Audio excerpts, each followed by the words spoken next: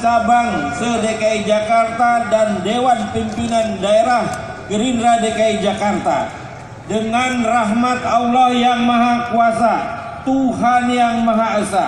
Dengan ini kami mencalonkan Bapak Haji Prabowo Subianto menjadi Presiden RI masa bakti 2019-2024 kepada Dewan Pimpinan Pusat Partai Gerindra agar menetapkan menjadi keputusan Partai Gerindra. Demikian deklarasi ini diumumkan. Semoga Allah Subhanahu wa taala Tuhan yang Maha Esa memberikan perlindungan pada perjuangan kita. Prabowo, Prabowo, Gerindra.